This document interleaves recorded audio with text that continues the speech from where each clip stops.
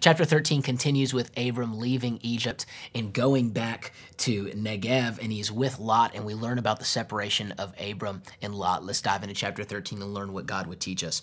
It says in verse 1 So Abram went up from Egypt to the Negev with his wife and everything he had, and Lot went with him.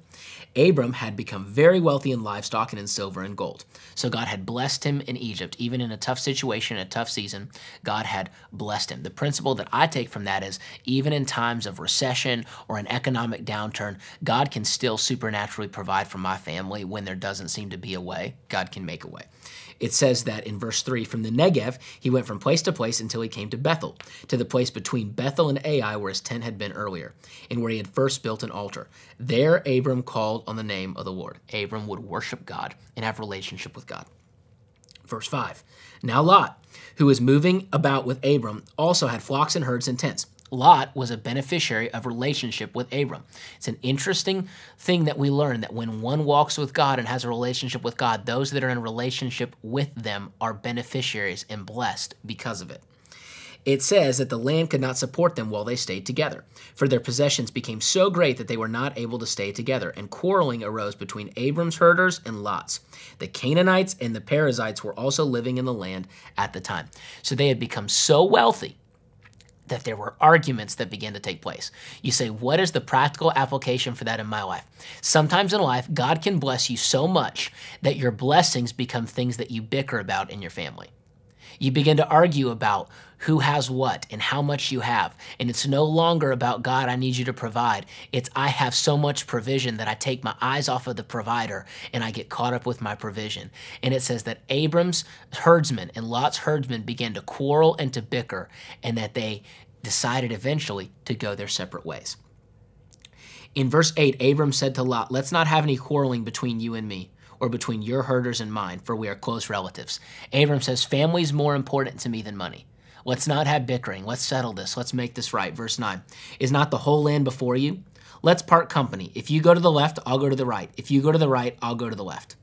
Lot looked around. He gave Lot the choice. This is interesting because Lot was a beneficiary of Abram, but Abram gave Lot the choice. He deferred to Lot as the elder, as the leader. It's so interesting how humble Abram is. I believe that in this moment, Abram knows that God is his provider, and he says, It doesn't matter where I go, God's going to provide for me. Lot, honestly, I'm not worried about it. You want to go left, I'll go right. You want to go right, I'll go left. I don't care. Whatever you pick, I'll roll with it.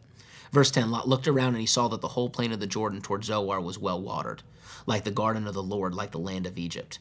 This was before the Lord destroyed Sodom and Gomorrah. We'll learn about that later. So Lot chose for himself the whole plain of the Jordan and set out toward the east. The two men parted company. Abram lived in the land of Canaan, while Lot lived among the cities of the plain and pitched his tents near Sodom. Now the people of Sodom were wicked and were sinning greatly against the Lord. Now, I want to share this with you before we continue the story. Lot looked with his eyes in the natural and made a decision to move his family where there was the most financial opportunity. Here's the problem. Sometimes where there's the most financial opportunity, there's also the greatest temptation for sin, pain, wickedness, distractions, and all of it. He moved to the worst place he could possibly move because his eyes were caught up with wealth. And here's the craziest part of the whole story he was already really wealthy. There does come a point in our life where what can you get? More rich. I always enjoy when I see these uh, people on the news where they're like, "Oh, he's worth 22 billion. Now he's worth 26 billion." And I'm like, "Man, how in the world are you ever going to spend that? What are you going to do with that?" It comes to a point. Just being honest with you, who cares? It's just a number on a screen.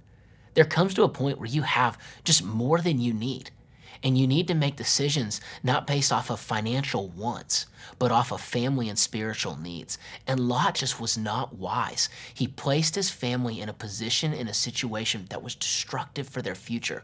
And here's what's crazy we'll learn in the future that because of these decisions, it ended up costing him not just his family, but it ended up costing him financially as well. And we'll learn about that in the future. Verse 14 The Lord said to Abram after Lot had parted from him, Look around from where you are, to the north, the south, the east, and the west. All the land that you see I will give to you and your offspring forever. He basically says, Look, I know you let Lot go that way. He says, Look around. He said, Look this way, that way, this way, that way. He said, All of it is yours. He said, That's fine. He said, I'm not worried about Lot. He says, Abram, I'm giving it to you. I'm giving it to your kids. I'm giving it as a part of your legacy.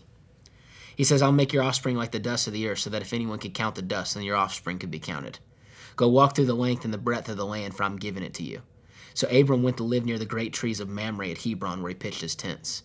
And there he built an altar to the Lord. It says that Abram and Lot separated ways, and that Lot picked finances over family in his walk with God. And it says that Abraham was visited by God after him and Lot went their separate ways, and God said, Look, Abram, look, Abram, I'm going to bless you. But I'm not just going to bless you, I'm going to bless you for generations to come. If you keep walking with me, if you keep journeying with me, I'm going to keep being your shield and your exceeding great reward. We'll learn about that later, where God would say to Abraham, For I am your shield and your exceeding great reward. He says, I'm your shield first, I'm your covering first, I'm your reward second.